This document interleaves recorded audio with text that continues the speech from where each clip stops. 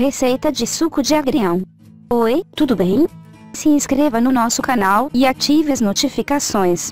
O suco de agrião pode ser um aliado para emagrecer. Quer aprender? Então vamos à receita. Ingredientes: 1 copo de suco de limão, 2 ramos de agrião, 1 colher de sopa de mel, meio copo de água. Como preparar? Lave bem o agrião. Esprema o suco de limão e bata todos os ingredientes no liquidificador.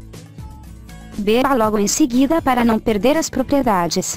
Compartilhe a receita. Até mais!